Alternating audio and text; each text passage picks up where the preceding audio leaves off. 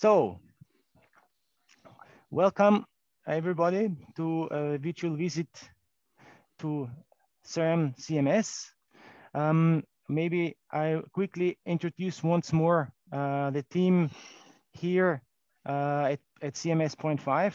So next to me is sitting uh, Mohamed. Yes, hello everyone. Then we have uh, our uh, main technical team, there's Zoltan from Hungary and Noemi as well from Hungary. And, uh, and on the other side, in another room, in a virtual room, uh, with a backdrop of an amazing artwork, is sitting our chair for tonight, this is Mick Storr. And I will pass over uh, the, uh, the word to Mick. And while he's talking, I will walk over uh, to the assembly hall because there we will start uh, the story about CMS. Okay, Mick, okay. You. Okay, thanks, Michael. Thanks to the guys in CMS, the technical team for this afternoon. In fact, I'm at the opposite side of the ring, the LHC ring, 27 kilometers in circumference, 100 meters below ground. I am sitting quite close to one of the other LHC experiments, which is called ALICE, a Large Ion Collider experiment. But we're not going to talk about ALICE much today. um, there are four big LHC experiments, CMS, ALICE, LHCb, and ATLAS. I just happen to be sitting close to Alice because this is where I live, okay? Uh, while I'm talking, Michael is making his way from the CMS control room, uh, where you saw him a few minutes ago. That's the control room. That's where the experiment is actually controlled from. And he's probably gone outside, walking through a car park, or maybe he's going inside, inside this very large building. You'll get an idea in a few minutes how large this building is. And he's on his way to the assembly hall. What is the assembly hall? This is where the CMS experiment was assembled, assembled on the surface, uh, completely on the surface and tested on the surface. This is unlike the one of the other big experiments, well, the other two big experiments actually, the, the other three experiments.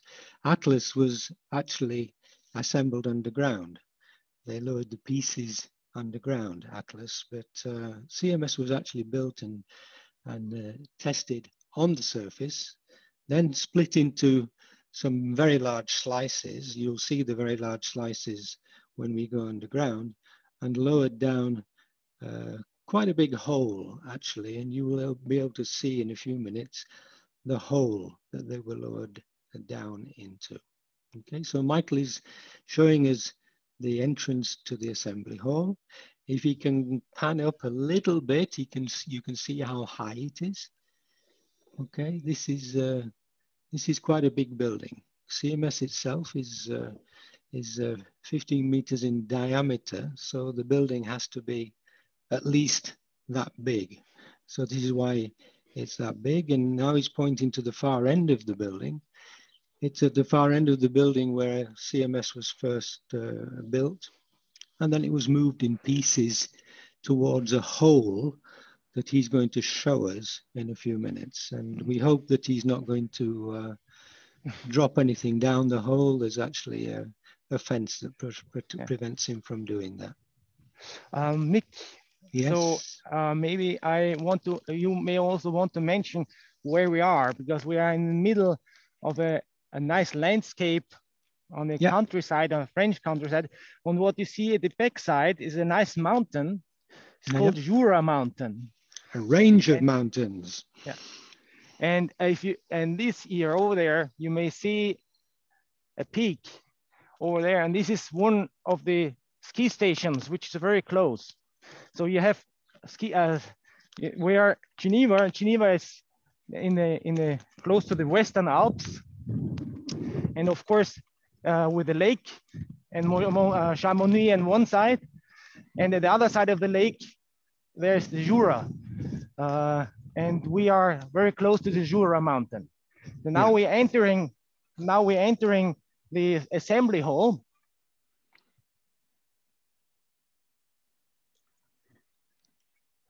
So down the far end there, this is the space. You can't see the space, but uh, at the far end, this is where the CMS experiment was actually constructed right at the beginning and uh, tested and then split into pieces, which we will show you when we go below ground. And uh, the pieces were moved along here and uh, lowered down this big hole that Michael is going to show you in a second. One, one, one, one thing what you may want to mention with uh, this was empty when we constructed CMS, and sure. now, of course, this big hole uh, is is also used uh, with uh, technical workshops. Okay. And now, if I turn around,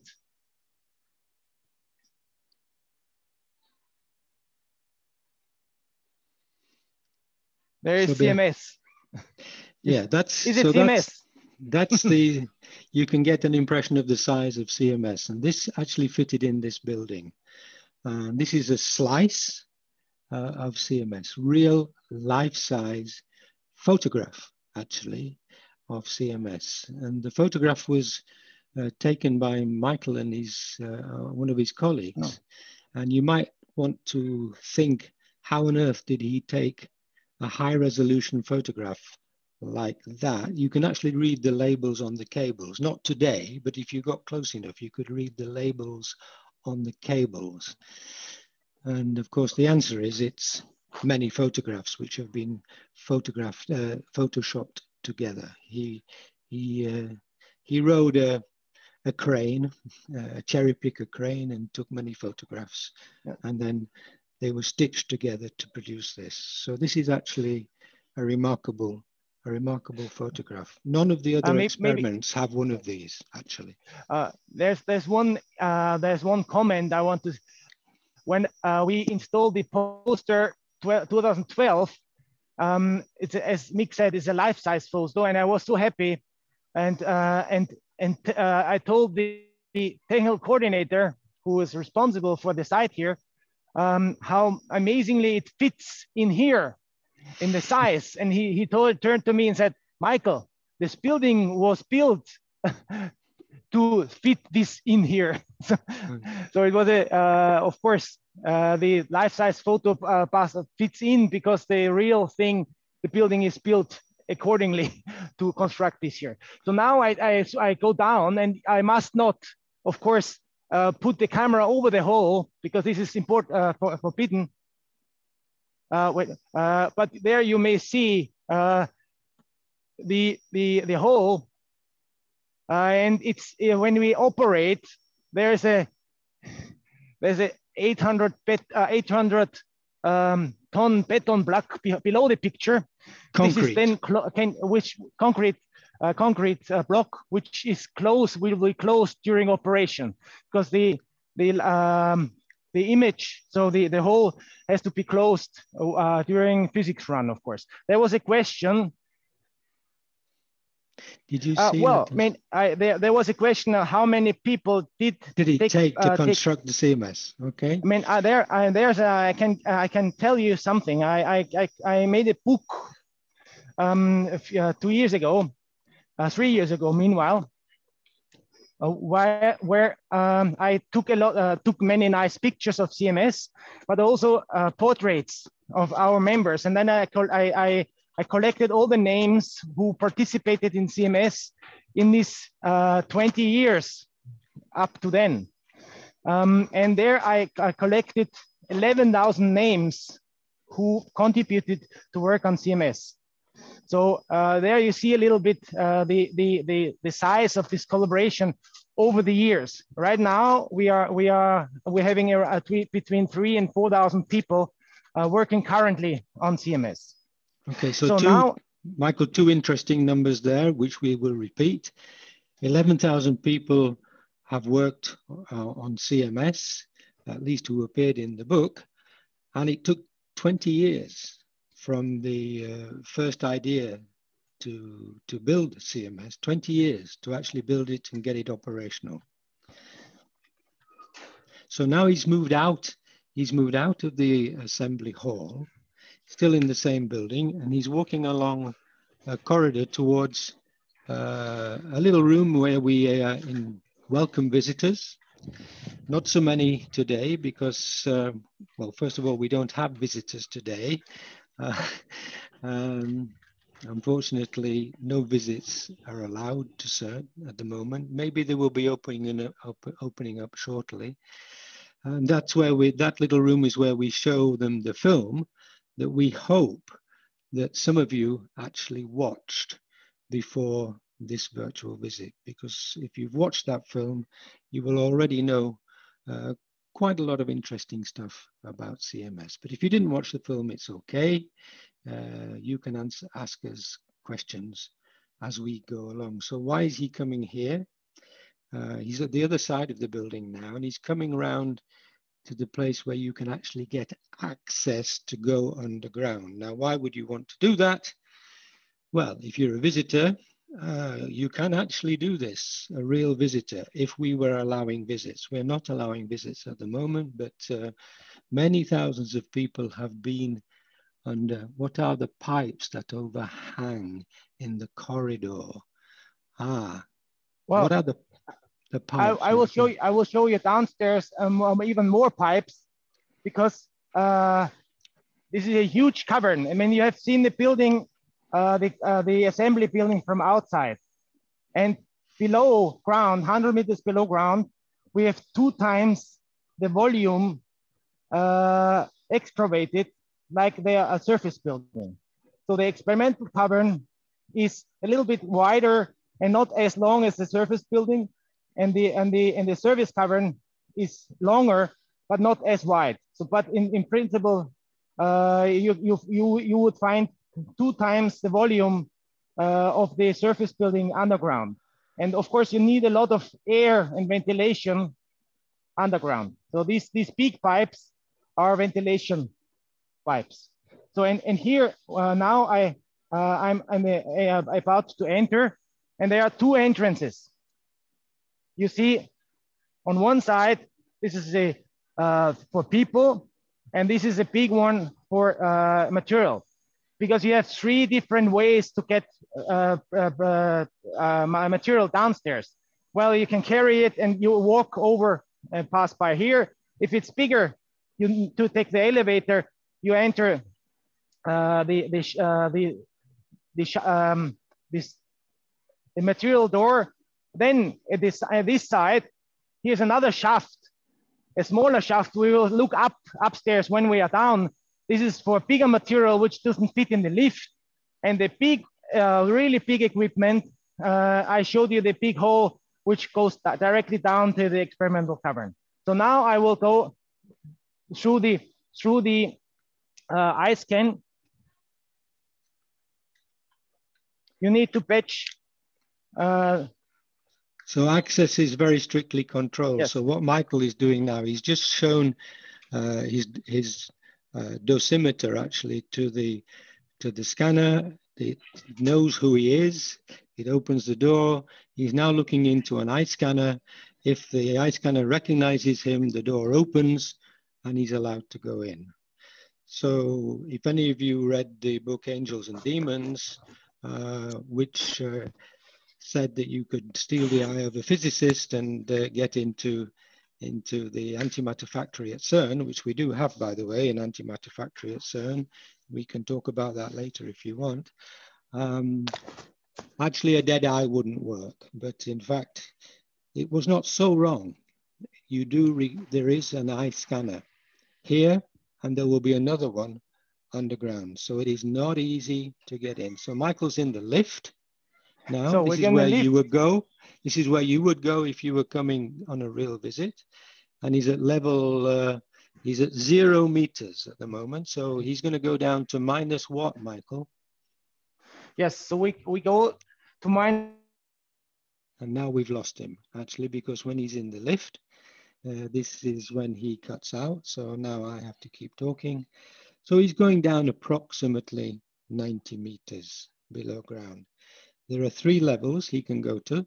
The first level is the level of the top of the experiment. okay, top of the experiment. Uh, the second level is the level of the LHC itself, and that's where he's going to get out, uh, I think. you, you might get out at the minus one, actually. It looks as though he's going to get out at minus one, but I will, uh, no, he's keeping going. So then there's the, so there's the level of the LHC itself, and then the third level is the bottom of the experiment, or the floor of the experiment. So he's now at minus 87 meters.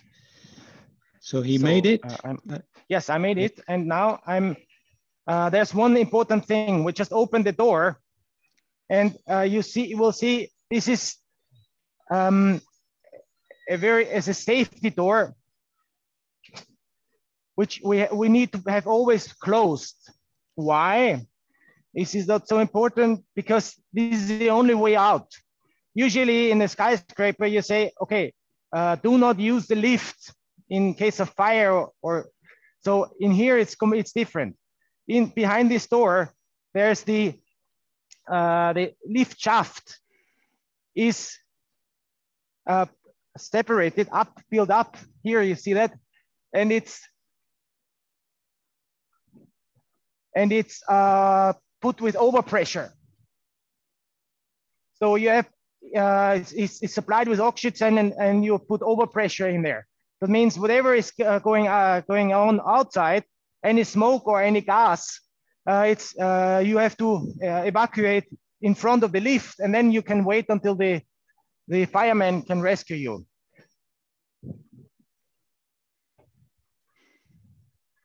So, and now we are, we are entering, we are now in the, in the, entering the service cavern.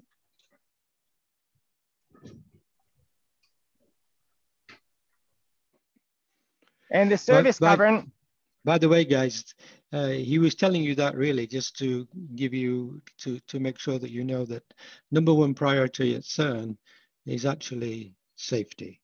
Mm. So uh, safety, keeping people out from going where they shouldn't go and looking after them when they are working or when they are visiting down below ground. Extremely important, strict safety rules at CERN.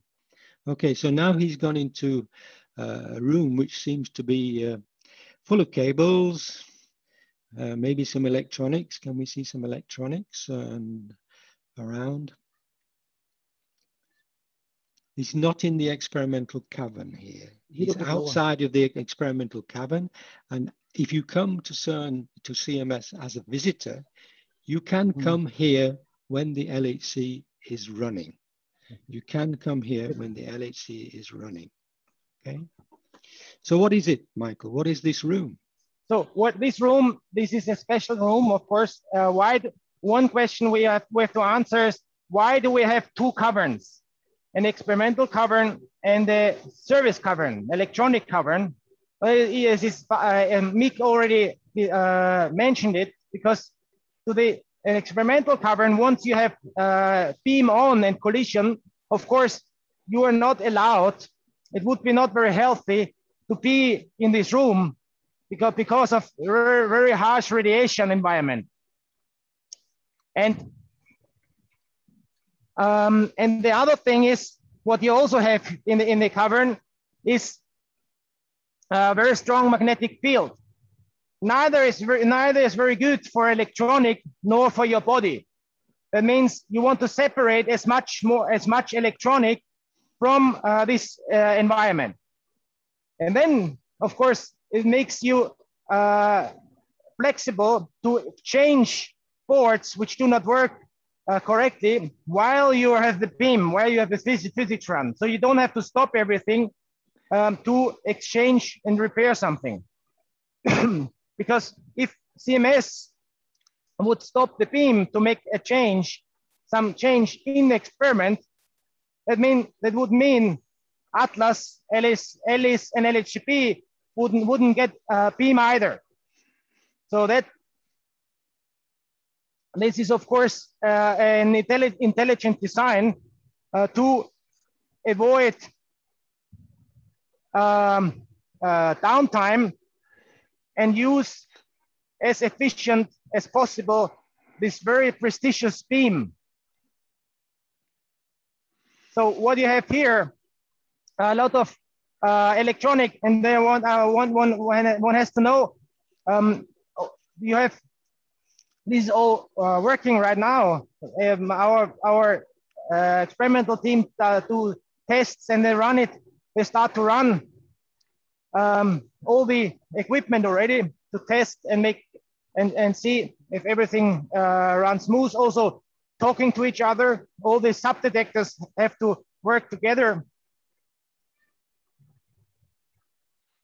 And there's okay. one thing um, you, you may ask how much distance you have between the experiment and the electronic because the data are, are produced uh, close to the uh, interaction point in the center of CMS. And here the, the data is processed.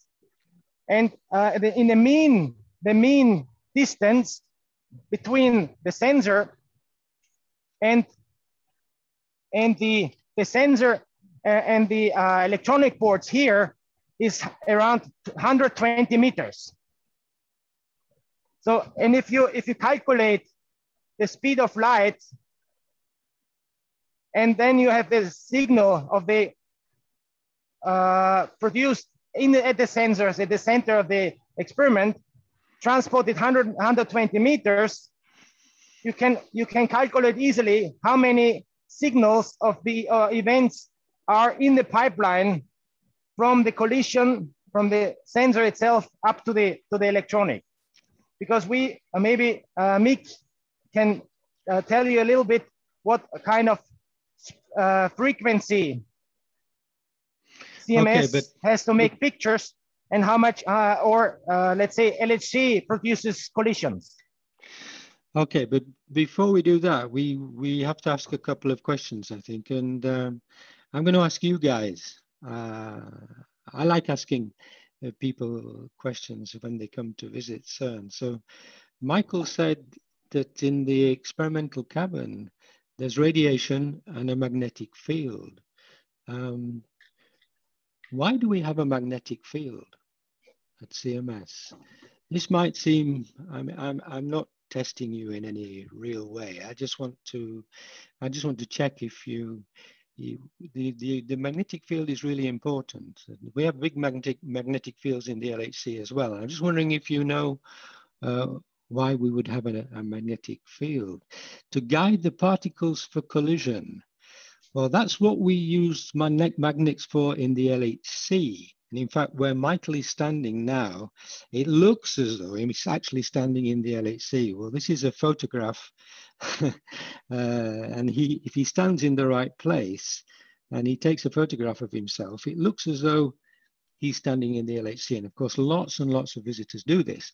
And he's standing in front of these blue tubes, and they are the LHC dipole magnets. And the dipole magnets are used for guiding the particles around the ring, superconducting dipole magnets. There are other magnets as well.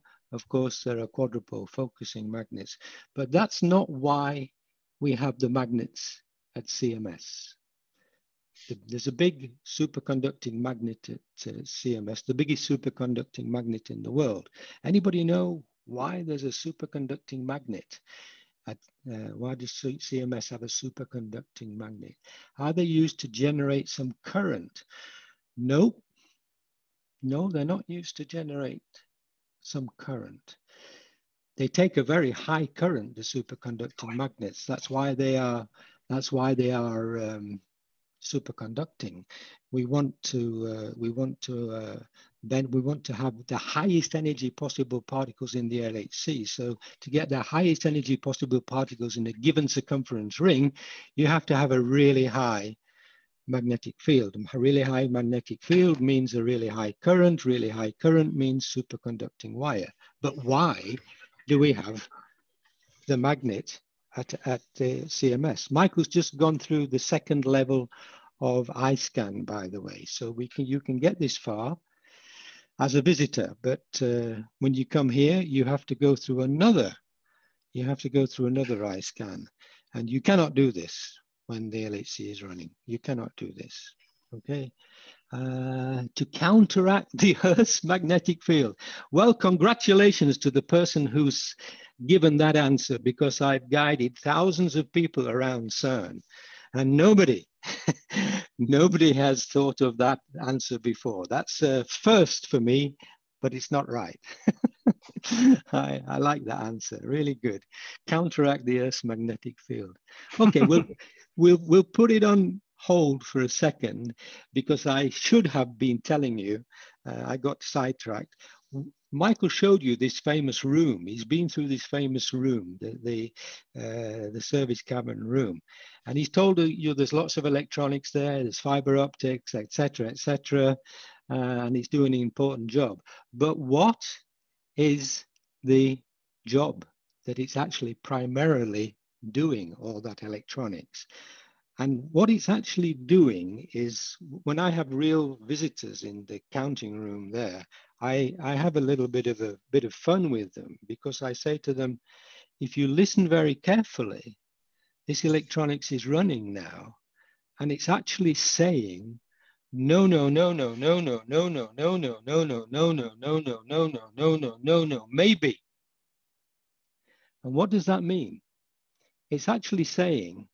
that there are too many collisions when the LHC is running uh, at CMS.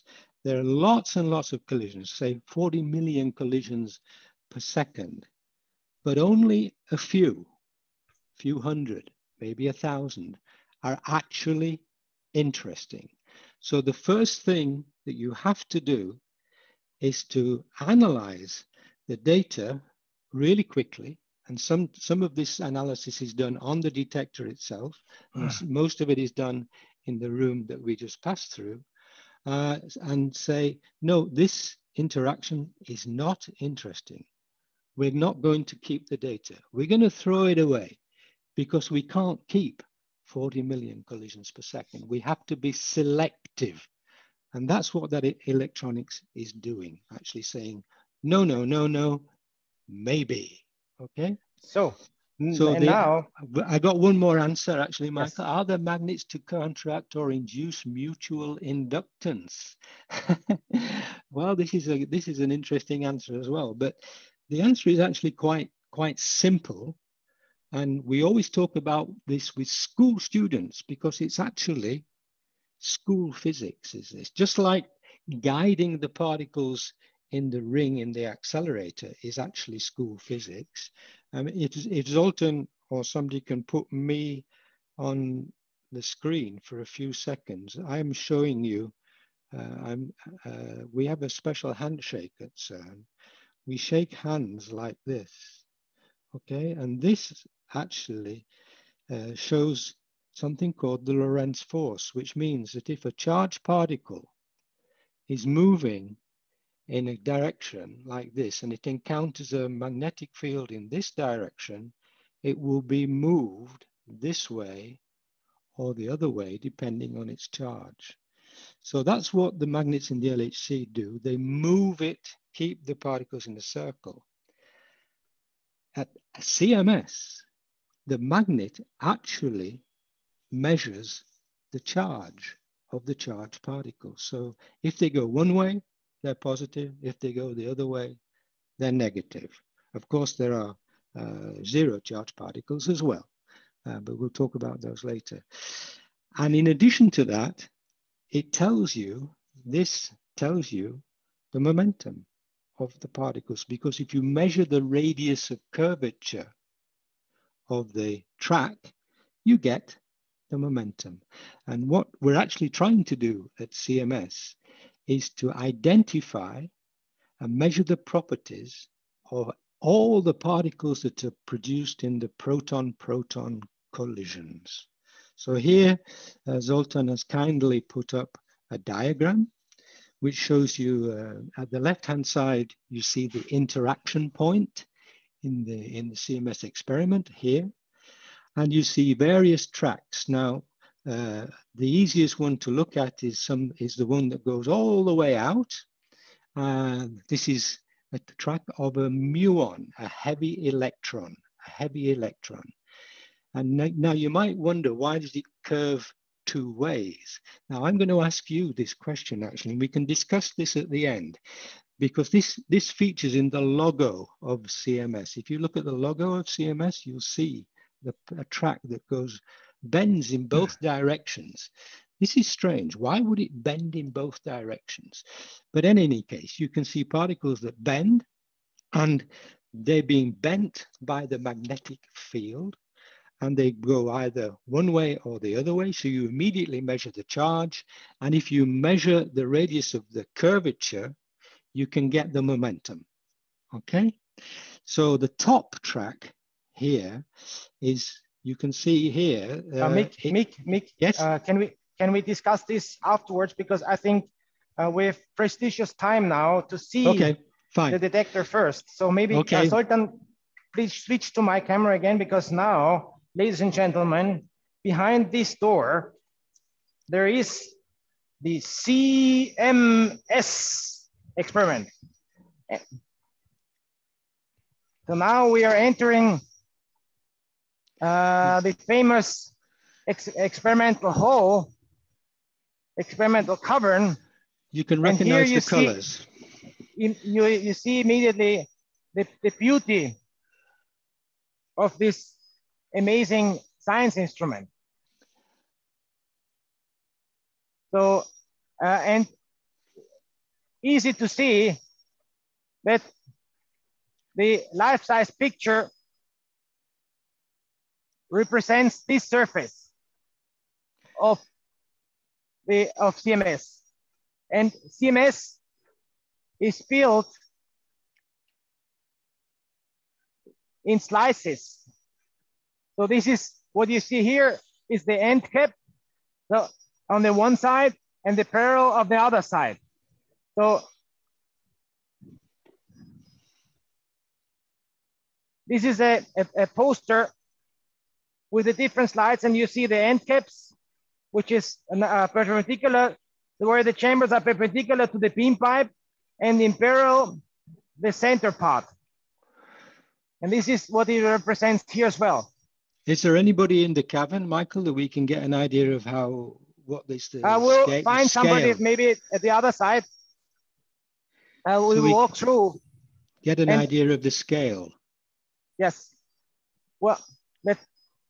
Is there anybody on the floor? No. Uh, we'll have a look.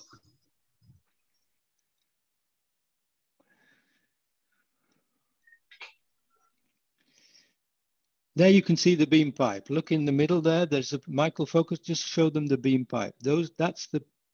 the so there you see the, the, the beam pipe in the in the center. And this.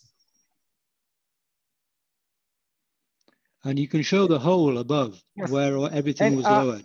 So, and, and one, one thing what I wanted to show you, there's a, there's a, here, is a corona, this corona round, this is a magnet Mick was talking about before.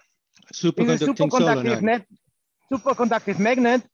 And CMS is called CMS compact because it's very compact design muon is one of the particles, and solenoid is because the magnet is a solenoid. And it's, it's easy to see when we have, uh, when we operate, the whole, all these elements are shifted close together. And what you see here, this big nose fits with a centimeter clearance in this hole.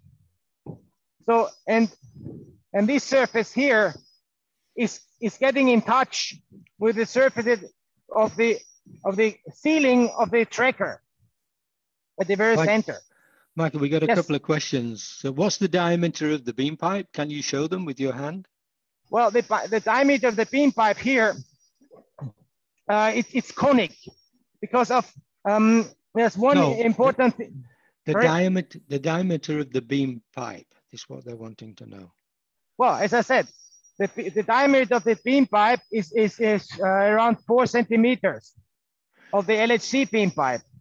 And of course, uh, in the, the, the diameter is changing in, in the center uh, in the cavern because the, the diameter is fixed and, and floating from one uh, side to the other side in the, in the cavern. what you see here is, is slided over the beam pipe. And in the very center, you have around three centimeters, three and a half centimeter beam pipe with um, uh, very, with, with very special material. And then the rest is aluminum. And then it's, it's here, it's conic to, to, keep, to keep it also um, straight and, and solid. Um, while we are moving this, it's, it's floating. And as soon as we are, are keeping it uh, uh, uh, stable for, for, then we of course support, as you can see here, now there's a support in between. But, but from the design, the, the beam, beam pipe uh, is, is like a huge bridge going from one side uh, to the, uh, from the wall of the, of the experimental cavern to the other side. It's very important to, to say at this point that um, the obviously the CMS has been opened up, the slices have been opened up, and when it's actually running, everything is squashed together. Everything yeah, okay, goes okay. together. Okay. And also another thing, another remark is that the pressure in the beam pipe is 10 times lower than on the moon. 10 times lower than on the moon is the pressure in the beam pipe. You don't want the protons hitting anything as they go around in the LHC. Hmm. Okay. So these slices slide together. Actually, they're pulled together. They slide on a on a cushion of air. These big, heavy, heavy uh, slices. You just they just slide on a cushion of air. When building this CMS, what was the first thing that got built? Ah, that's an interesting question. I have no clue, actually. What did you build first? um, maybe Zoltan or Mohammed know what, uh, what, what was built first. I have no idea. Maybe many things were built in parallel. So Sorry, saying what, could, what could you was, please repeat the question? We, we were a little bit off. Uh, somebody's asked what when you when they when you started building CMS, what did you build first? I guess many things were built in parallel, but was there a, something that you started with first, the tracker yes, or of the? Course. Yeah? Yes, of course. The red, what was the red slabs. Ah. Together first, the the iron. That's the skeleton. Okay. I still remember. Let me just put that. I still remember when these big wheels were constructed Yes. Uh, they were so constructed on a Ferris wheel, which was dismantled later. I think these were the first, but uh, but uh, soon uh, uh, after, I think the end caps were constructed as well. Okay, thank you. Uh, those red those red structures, by the way, they they are the return yoke for the solenoid. So when you have a solenoid, you have to return the magnetic field, and the magnetic field is returned through those uh, that those red ion structures. Now I'm giving you a clue as to why that particle uh, bends two different ways, but I'm not going to tell you the answer just yet. Are there any temperature controls with the CMS?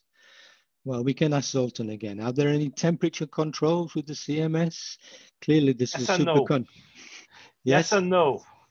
Uh, knowing that sense that uh, probably the, the question suggests, we do not have a temperature control uh, in the hole. Of course, we do have uh, uh, uh um, air conditioning, so that's a kind of, but what is more important is the temperature of the sub-detectors.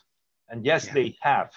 Some of them are on minus 17 degrees. I think today the, the tracker was cooled down to minus, uh, 17. And also the electronics on, on the detectors uh, is, is also, at least the temperature is measured. And also there is a water cooling or cooling that runs on the detector uh, parts themselves that uh, tries to control the temperature of the electronics. And of course, the superconducting solenoid itself is is kept at a temperature of uh, 4.2. Yeah. 4.2 degrees Kelvin. 4.2 yes, degrees exactly. Kelvin. Kelvin. Okay? That's the most important. Kelvin. Okay, we'll, we're getting some questions, but we I think we're going to keep going. We'll keep those questions well, on the uh, chat. We, we won't yes. try to answer the questions. Michael kindly showed us the hole, by the way. I, I, I would uh, yes, I, I would like to show you uh, where the these elements uh, uh, came down. So there, there you see the ground floor. And if I if I if I make the go uh, look look up, there you see again the pipes the ventilation pipes. And then you see at the very end, the, the ceiling of the building we have been in before. Mm -hmm. So this is uh, the ceiling of the assembly hall. Mm -hmm. And, and there, there are some red elements here. And this is what, uh, this is actually for a fire extinguisher. um, and we had a, at the very beginning when we they finished to construct the cavern, when the cavern was empty, we had the very first big foam party. so they made a test, of course. So they just um, tried to fill up uh, and see if the foam uh, would work. So hopefully this, this was the last as well.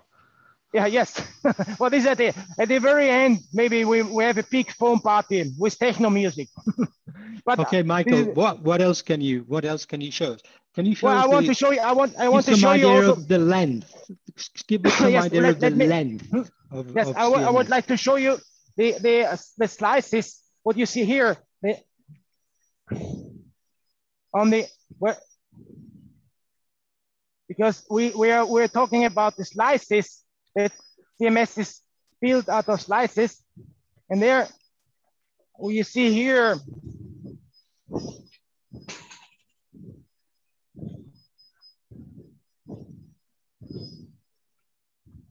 this is one, and here's the ne next one.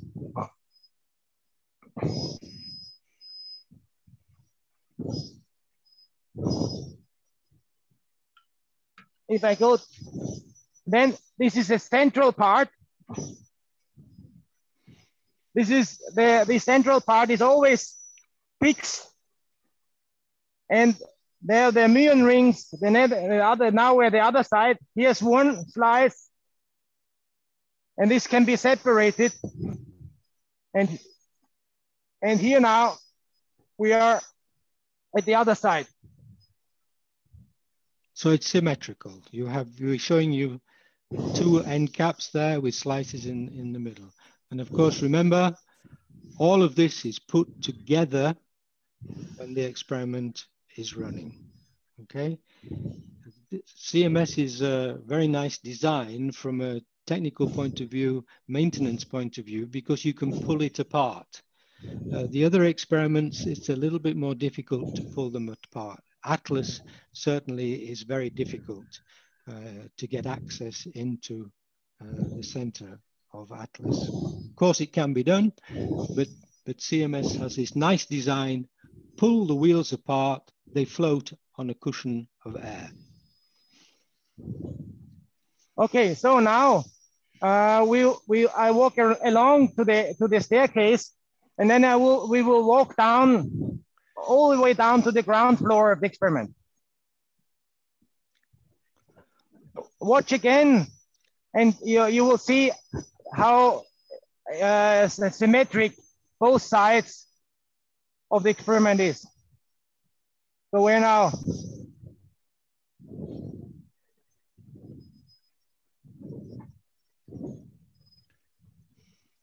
Notice that there are just a few cables actually uh, there. Somebody once told me how what is the total distance of cables and the CMS detector? And I must admit that I've forgotten. Maybe Zoltan or Mohammed can tell us what is the total distance of cabling used at CMS?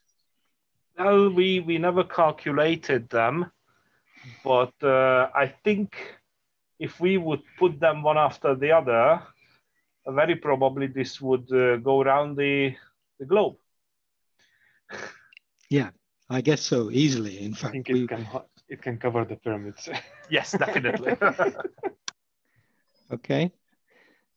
And all the, uh, all the cables, they have different functions, by the way. They have different colors and the different colors mean uh, they're, they're doing, they have a different function. Um, I, I, think the blue ones are fiber optic. Zoltan can correct me and okay. he can tell me what the other cables are. Well, uh, uh, we have light blue for for uh, the the fiber optics uh, almost everywhere, and yellow. Uh, but of course, um, the color is very important. The red is always high voltage, and apart from these three things I mentioned, every subdetector has its own color. -huh. The muon is blue, for example.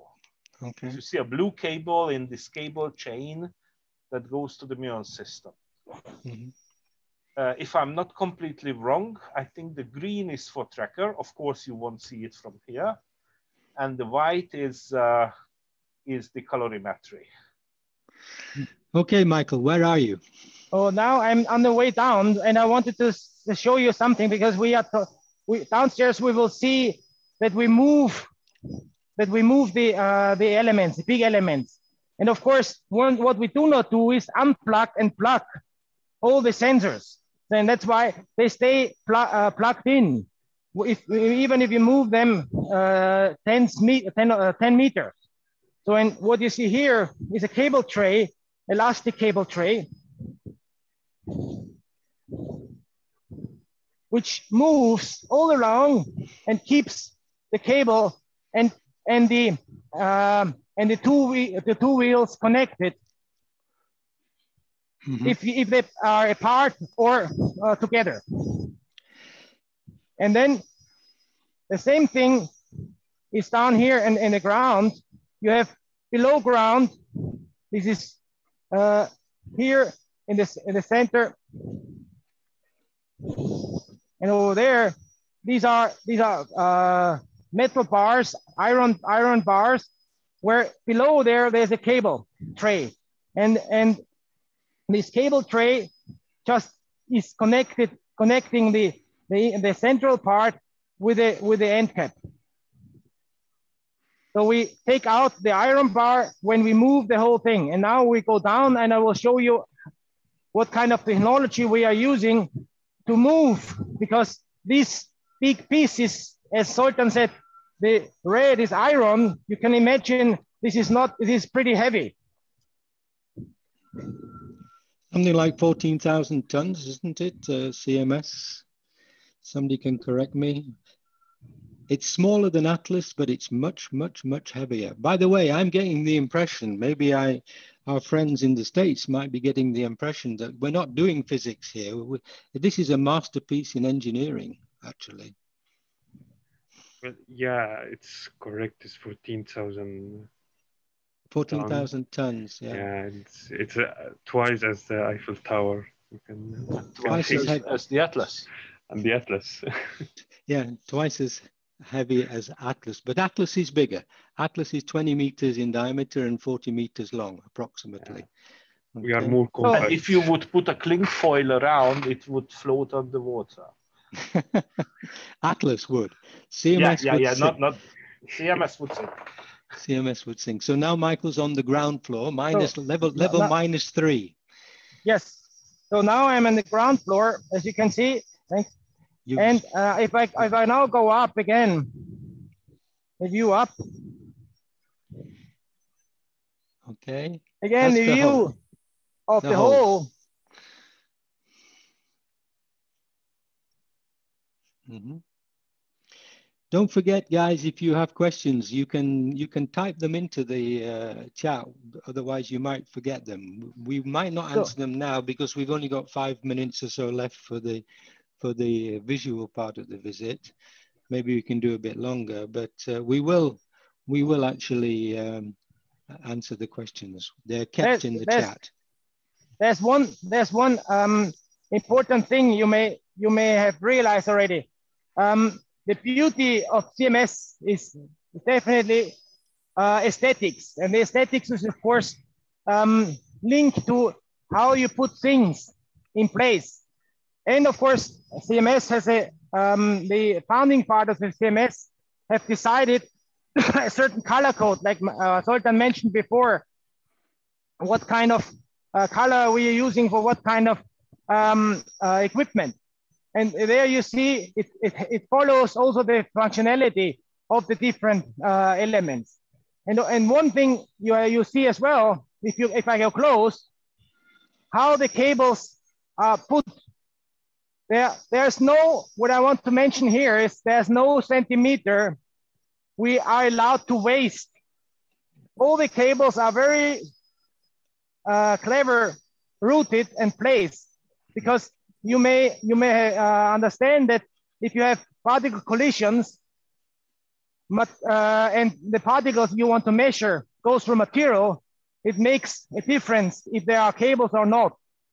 And then you need to, of course, put everything in, in uh, having a lot of cables and a lot of pipes in a very uh, uh, small space.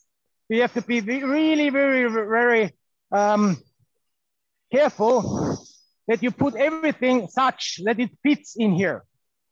If, if you make a mess, the, it would never fit in this, in, the, in this space.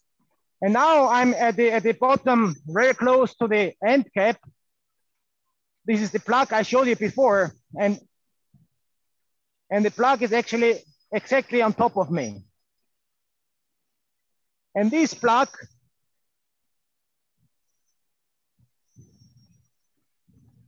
as I said, may enter in the back tank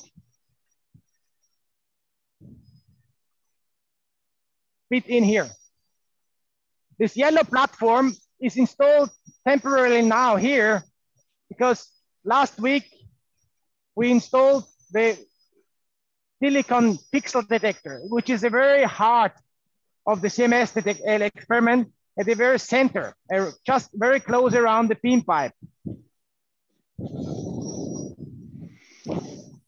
Okay, Michael, I think it's uh, you've given us a fantastic uh, view of CMS.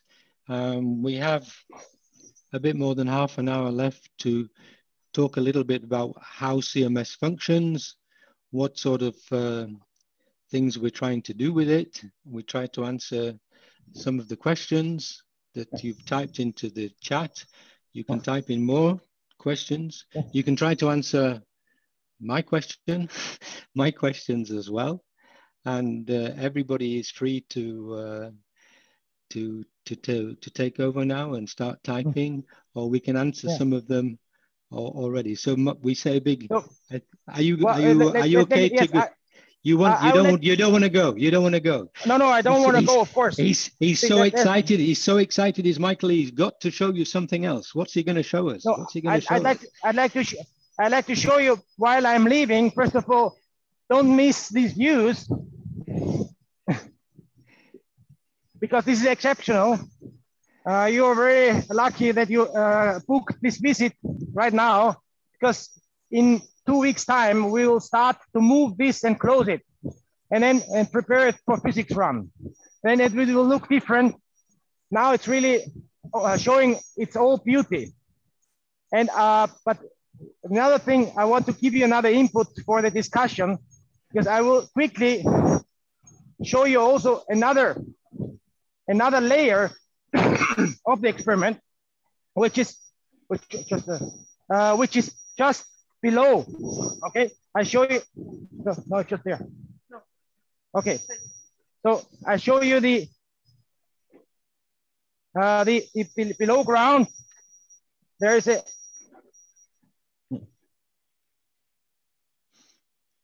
so we are uh, there's another layer of of the experiment which is just be, uh, below the experiment.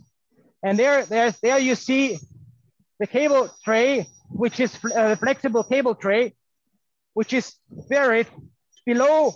There you see the uh, what the uh, this is what I was talking before. This is the iron bar, and this is these are disconnected. So this moves, as you can see, this moves with this wheel. And then before I leave the experimental hall, I want to show you how do we move these wheels. Because Mick will, uh, Mick will uh, explain you in a, in a minute how we move this uh, this element, this element with a big nose, which is all there's also a, a, a calorimeter included. It's pretty heavy. This has 1,200 tons, just this layer. And this is, this is one of the feats, how to move this. Uh, yeah, we already commented on this, Michael. It's we they use compressed air. They just lift it up like a hovercraft, and they just pull it, basically. So it can it floats on on compressed air. All of the wheels float on compressed air. An ingenious solution to a difficult problem. Okay. And now I will I will leave uh, the experimental experimental cavern. I'll give you one more view on the on the on the uh, staircases on the three different levels. We, we, we have been up there at the beginning and now we're on the ground level. So these are the different staircases to access the equipment on the side. And here we're leaving the experimental cavern again. Okay, thanks very much for the tour, Michael. Uh, we hope you get back okay, and we'll see you yes. in the control room. Okay. Okay. Okay. So, so we'll we'll see you up there. Okay. This will take in five minutes or so, maybe a little bit longer. So, um, okay, we got some questions in the in the in the chat. Um, was some of the detector building outsourced to partner institutions? Well, the simple answer to that is that uh, the whole of the building of the CMS detector was outsourced to the participating institutions. Um, it wasn't it wasn't built only by CERN. Okay, maybe Zoltan can uh, tell us how many participating institutions there are in CMS, and typically um, where were the bits and pieces actually how many different bit places built some of the, these bits and pieces. Exactly. Uh, so mick you, you told it correctly. So the the we, we reversed the question. So it is not outsourced it is like a party when everybody brings something some food for the party we have more than 150 institutes all around the globe not only uh, CERN member states, but even even more, it, it, it, these are rather institutes, universities and research institutes who participate uh, in in this in this big challenge. Some of them are, are producing electronics for the subdetectors. Some of them are producing subdetectors. Some of them uh, are doing analysis. Uh, some of them uh, buy something from the local industry and, and puts it in. Uh, you probably saw, I, I don't know, but you probably saw the, the big iron slabs came from Pakistan and, and Germany. For example, the muon uh, end cap chambers that uh, Mickey just, just shown, uh, they are American and, and Russian institutes. So we are all in we are all in. Uh, I'm also from an institute. We we participated in the muon alignment, and and we brought that in. So everybody brings something just like for a party. Okay. So where do particles come into the beam pipe? Okay, this I is. I don't hear you. Sorry. Uh, can you hear me now? Can you hear me? I can hear you. I think okay. we can hear you. The, okay. the visitors can. Okay, so where do the particles come into the beam pipe? Well, actually a long way from, from CMS. Uh, the, the particle, well, where do we get the particles from, by the way? This is just another very, very simple question. This is just to get you to interact with me a little bit. Um, we're talking about colliding protons. Where do we get the protons from, guys? Just type it into the chat if you know. Um, do we call Amazon and say, please send us a box of protons? Where do we get them from? It's the same for Atlas. It's the same for any of the, the big experiments. Can anybody tell so me where? Mick, I've me... also I've put it into our, our Slack so that the students that are within the classroom can give me an answer and I'll put some of those into the chat. Okay, I'm waiting for some through ionizing neutral particles. Okay, yes, that's a good answer, but let's be really specific about this. If you wanted to get a box of protons, aha, what about from hydrogen in the air? Ooh, in the air, that would be, yeah, you'd have to do a lot of ionizing uh, there, but uh, you can actually just ring up, maybe not Amazon, but certainly Carbagas. You can send uh, uh, from Earth's core or space. Those are imaginative answers. No, you can ring up Carbagas or Air, Air Liquide or something like some company like this and say, please send us a bottle of liquid hydrogen. And they will send you a bottle. It's about the size of a small CO2 uh, fire extinguisher, no bigger than that, actually. There's a lot of uh, hydrogen atoms in a bottle that big. And all you have to do is you have to uh, separate the uh, proton and the electron. The hydrogen atom is simplest atom. It's made of a proton and an electron. You ionize it, pull them apart, throw away the electron, and then you start to accelerate the proton. So the next question, you can guess what my next question is. Um, how do you make a proton move? How do you make a proton move?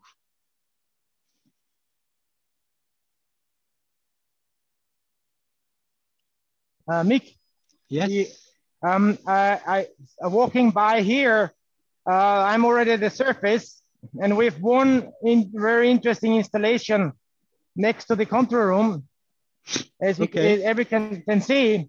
Yeah. Um, which is CMS, as you can read it from far. But if you look closer, this is made a small fraction of, of, the collaborators in CMS. Yes. In CMS.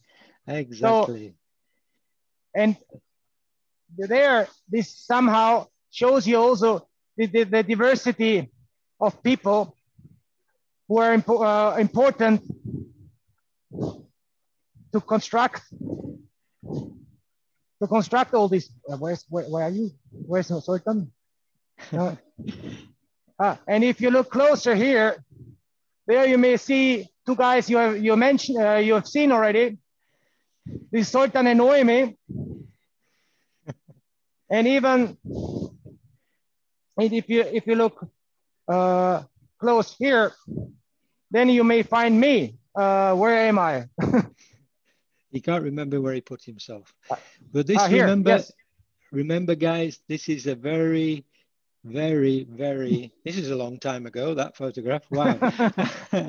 this is only a very small fraction of the 11,000 people, okay? Uh, this is only a very small fraction. So let's go back to the one answer to getting the proton to move is to take advantage of its charge. Yes, absolutely correct. Okay, so I, I like to play games with uh, with students when they school students when they come to CERN, and I say to them, "I'm a donkey." Okay, how do you make a donkey move? How do you make a donkey move, guys? Well, some of them say you kick it or you whip it, and I say that's not very kind. But if you stick some food in front of it, then it will go. Stick a carrot in front of it. So the big question is, what is the carrot for a proton? What is the carrot? And of course, you can put something behind it, which will make it run away from it. What is the thing that you put behind it? You can put a lion behind the donkey.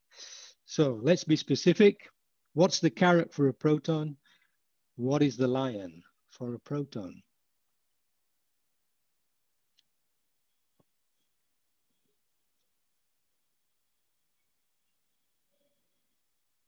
You were not expecting Carrot is electrons or let's say an electric field, a negative electric field. Proton has a positive charge. If you show it a negative electric field, it will be pulled towards it, okay? Uh, so behind it, what would you put?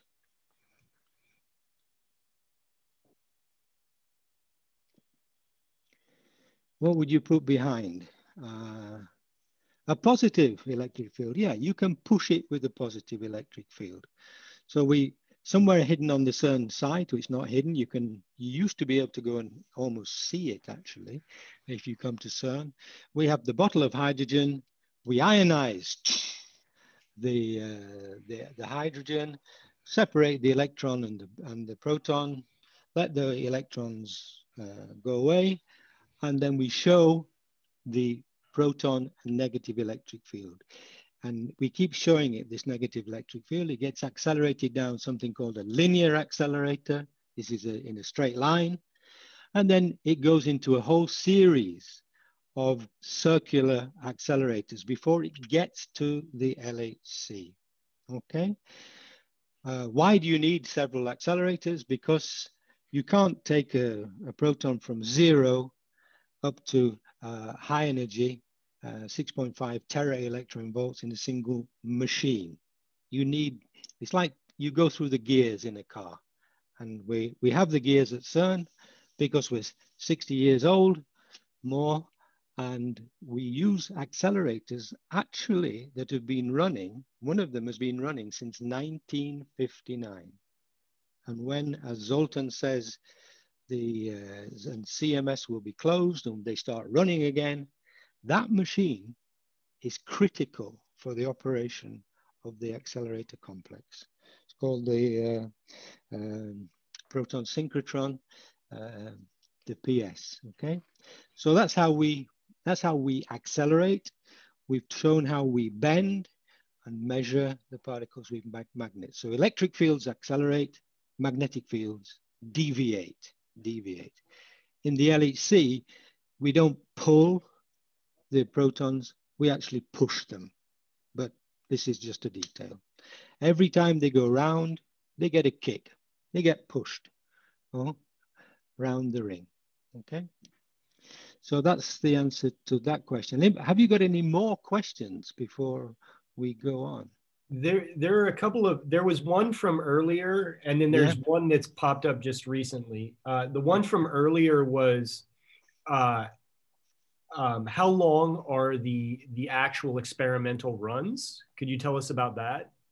Uh, you know, when you're acquiring data for CMS, and then there was one that just came in and said, uh, the electrons that get thrown away when you're creating the protons, do those electrons get reused for anything at all? Okay, answer to the second question, no. They, they just effectively disappear, okay? So an, an experimental run, depends what you mean actually. The LHC runs about nine months per year, okay? It runs continuously for nine months a year. And uh, then there's three months of maintenance. But then each year this data gets added. So Zoltan or Mohammed can tell you uh, typically uh, the, the, um, the Higgs boson was discovered after about three years of running for the, for the LHC. So typically, uh, I guess uh, you could say a run lasts a number of years, okay?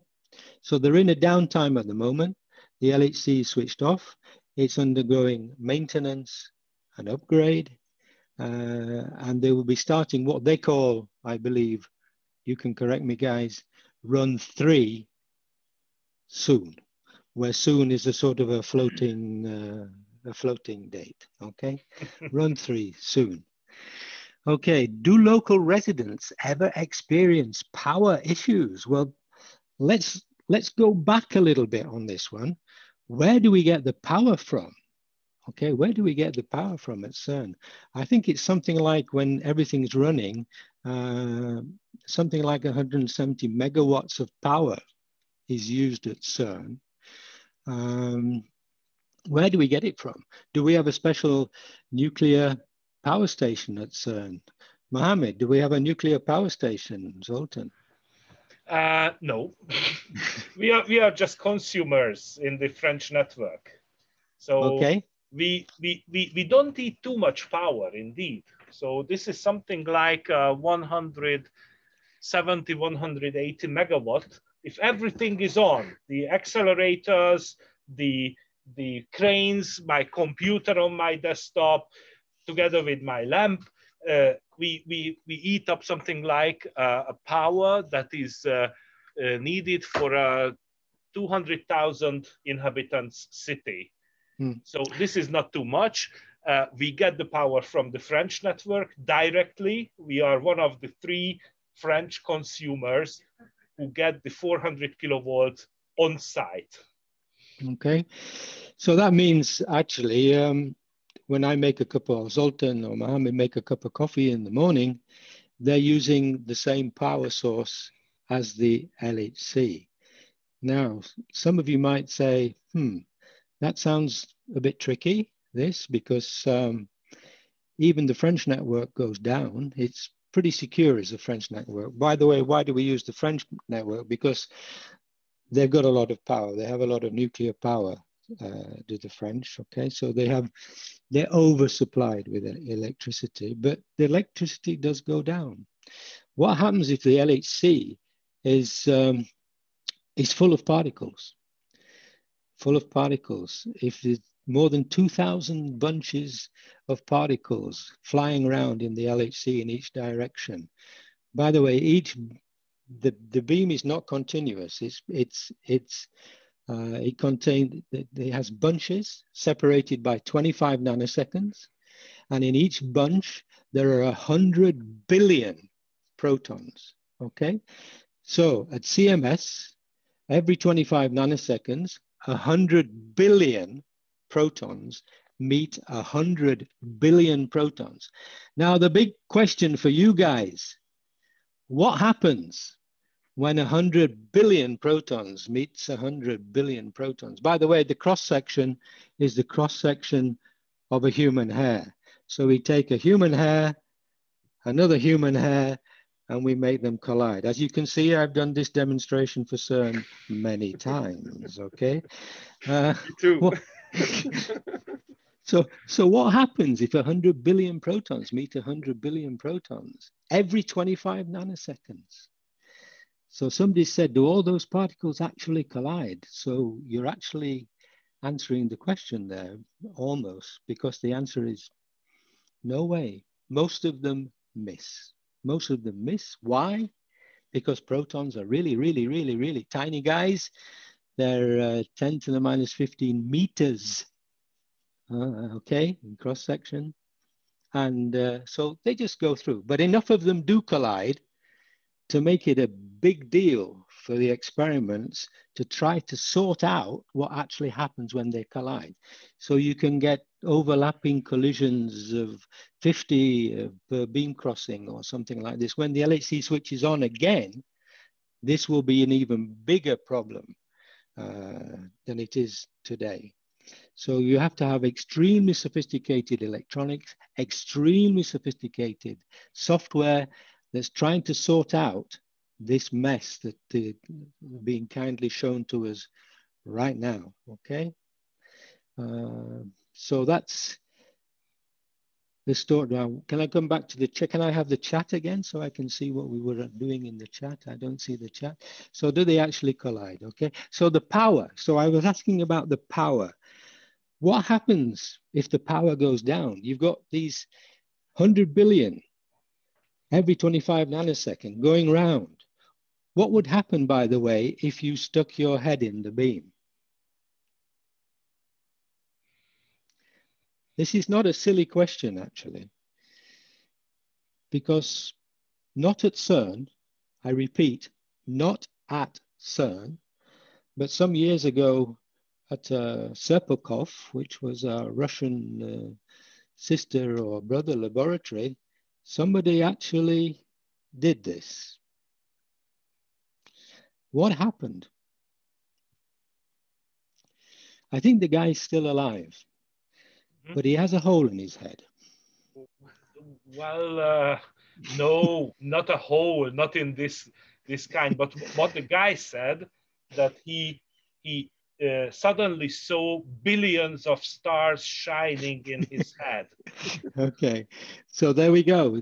So, well, why am I telling no, not you? Recommended, is, not recommended. Not recommended. No. What I'm why, why I'm telling you this is that you absolutely do not want to lose the particle beams because they will simply punch a hole in this uh, $5 billion uh, accelerator. So you do not want to do this. And uh, so how do you avoid, how do you avoid doing this? Well, you have to be con constantly, constantly sensing the current in the, in the grid. And if you detect uh, that the, the current has gone down, in actual fact, you have three turns around the ring, three turns to kick the particles out safely down a, uh, an external beam line and dump them in a graphite block, which gets very, very, very hot, uh, but doesn't actually melt. Okay, so this is a really, really important feature. It's one of the security features of the LHC. Uh, it, the, it would also destroy CMS as well if the, if the particles got deviated into CMS. Okay, so that's where the power comes from. By the way, the power is about the power which is used by the industrial part of Geneva. So Zoltan was saying 200,000 people. It's Geneva it's a significant fraction of the power that is used by Geneva itself. Okay, some more questions? When the LHC is running, are all the experiments, CMS, ATLAS, ALICE, and LHCb collecting data at the same time, guys? Mohammed, are they all running at the same time? Mm, yeah, the beam is running, but mm -hmm. the collision yes. is happening at uh, each point, CMS or Atlas or LHCb with the like uh, configuring this with the each experiment, who yeah. will get the collision? No, the the answer is that they're all running. Yes. They're all, they're actually all running.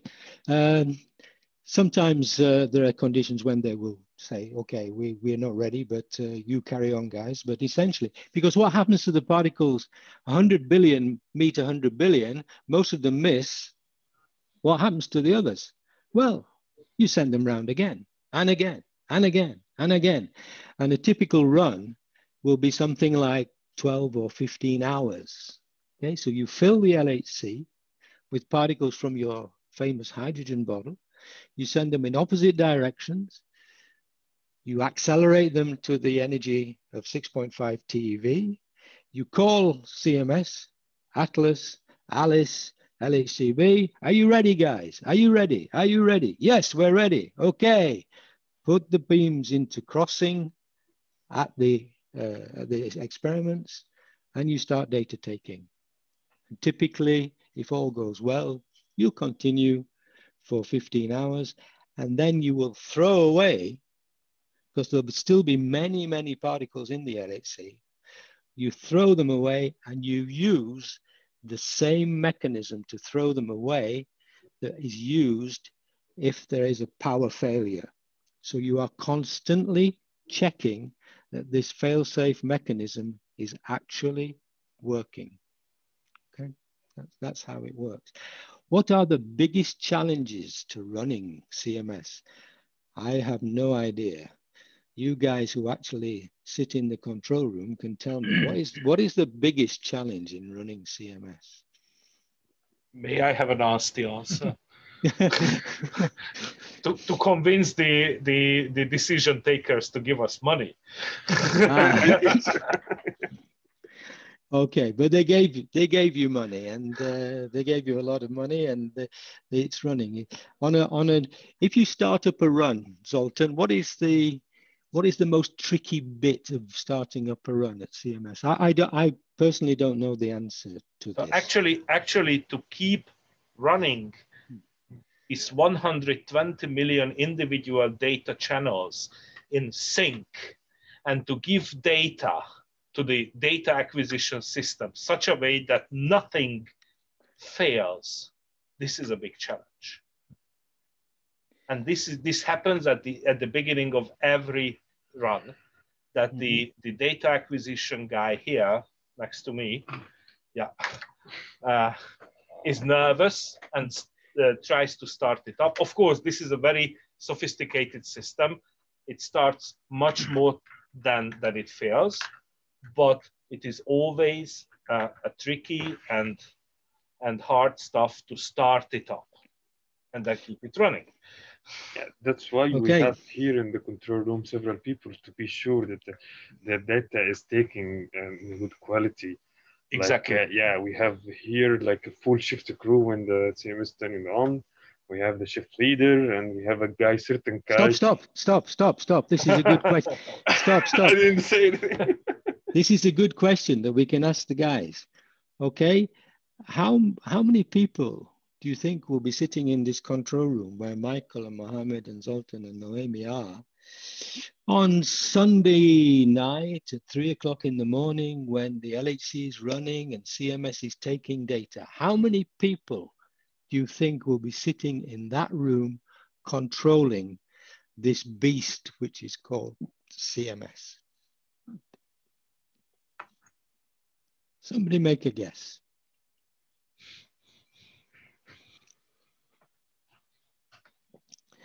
10, 3. Okay, your guesses are good. How many is it in reality, Zoltan? Five. Five. so who are they? Who, who so, are there? Five. Mohammed? So yeah, we have five people sitting in the control room. So the first one is shift leader, who's like uh, operating and managing the captain. all the sorry the captain yeah the captain of the, the, the ship yes so managing all the shift crew and we have a certain guy who's like looking at the data and see if the data in good quality or not.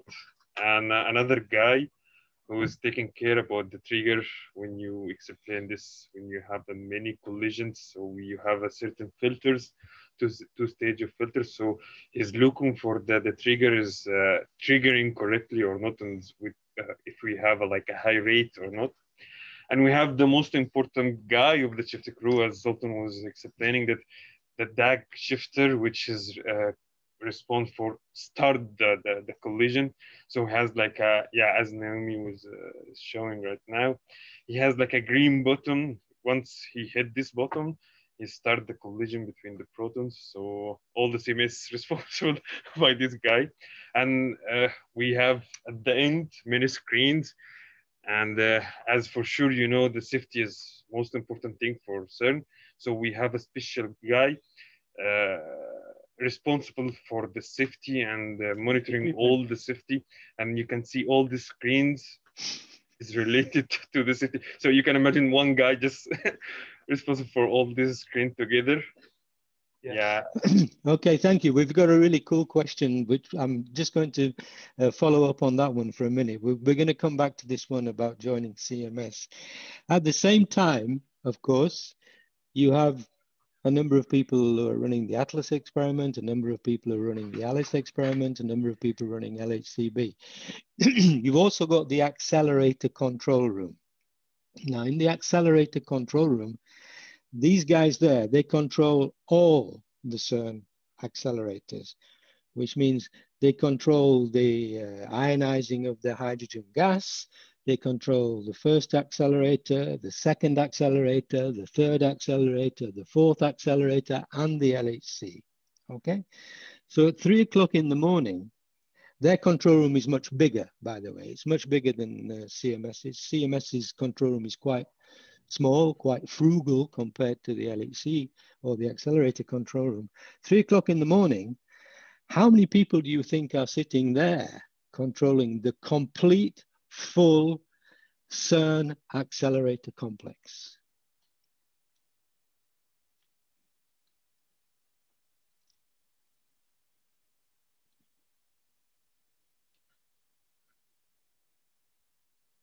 Two thousand. nice guess. nice guess. The room's not that big. A hundred. Well, actually, in the control room, it's a pity we can't show you a photograph of it. Uh, there are actually four. Ah, we can. There are four islands. Thank you, Zoltan. There are four islands. And what you're looking at here is in the back left-hand corner, you're looking at the first accelerators control room, the LINAC and the proton synchrotron and something else, okay? Um, uh, in the foreground, left-hand side, this is the superproton synchrotron. This is the uh, area, this is the accelerator which injects into the LHC. The back right-hand corner, this is technical support. This is all ventilation, heating, cryogenics, and all this sort of stuff. It's not accelerators per se.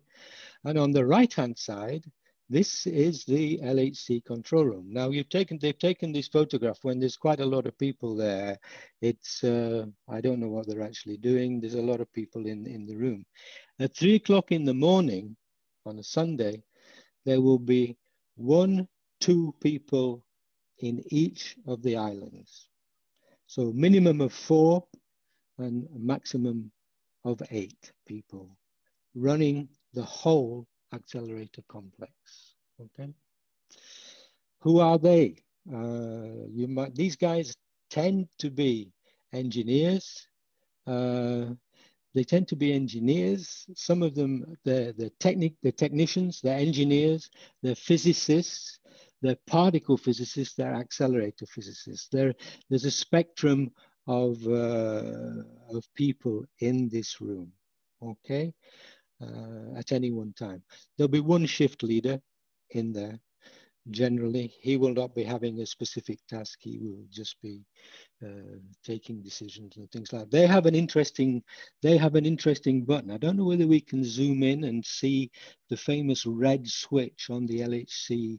Uh, they have a on one of the. No, oh, you I'm can't afraid. See. I'm afraid we can't see. Okay, but on, on that circle, about every meter, two meters around that circle, uh, there is a just a small box, which is a red switch. And that red switch, if you flick that red switch, you dump the beams from the LHC. And dumping the beams with that switch uh, operates that famous fail-safe mechanism, which gets triggered if the power goes down. Well, we have such a button here as yeah. well. You, you, have a button there as well. Yeah. But that's that's a you have a button that can dump the beams from the LHC. Yes. Yes. yes. Okay. I didn't know that. That's interesting. Amy, can you show it? The dump button. Beam, beam dump. Yes, she is going to show in a sec. Okay, let's have a look. There's an interesting story behind this, which I will tell you in a minute, if she can show us the beam dump. Ah, beam we abort. call it beam abort. Okay. It's not the same red switch as they have. Oh, you are very professional. Look, they, they have this switch behind the cover. In the LHC control room, this little red switch, it is really a switch. Uh, it's not a button. It's just a switch. And if you have your folder open on your desk, if you're one of the accelerator operators, you could accidentally flick that switch and dump the beams from the LHC. You could actually do that. Nothing would happen. It would, the beams would, would be dumped safely. The physicists at CMS, ALICE, and LHCb and Atlas would get upset, of course, because they'd have to wait for the accelerator to be filled again. But the story behind this is that I once had the great honor and privilege to take Buzz Aldrin into the LHC control room and they were in the LHC, there were pilot beams. And the, the guy who was in charge said to Buzz Aldrin, second man to walk on the moon, we want to get rid of the beam in the LHC.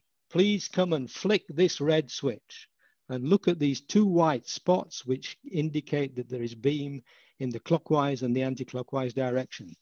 And he said, sure. And he was wearing his Apollo jacket and his Apollo tie. And he walked up and he flicked the switch and the two spots disappeared. And he turned around to me and he said, Mick, at NASA, we would put cover, a cover on those switches.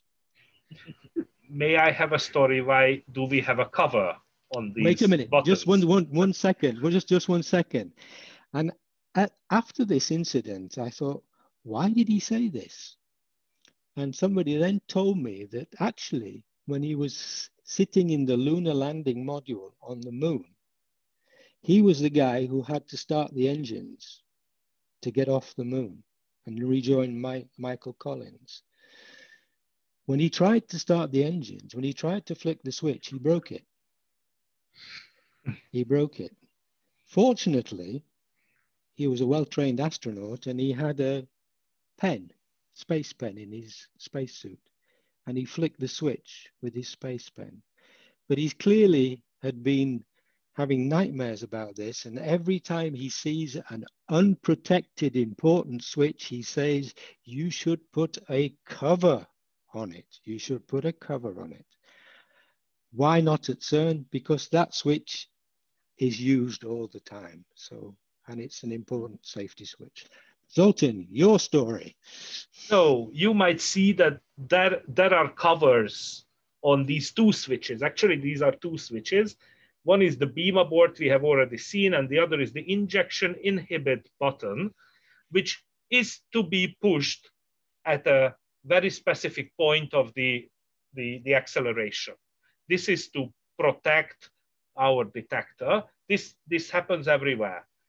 But if you are about to push this button three o'clock in the morning on Sunday, shift leader, shift leader's hand might move in a wrong direction.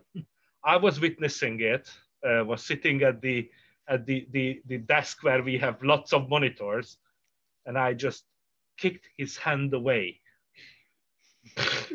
and since then, we have a cover on these, these buttons to wake you up and yeah. to make you think what you want to push. Okay, Buzz, Ald- Buzz Aldrin would be very proud of you. Okay. Thank you. Uh, Casey, yes, you're absolutely right. We've run over time. Sorry to keep you for so long.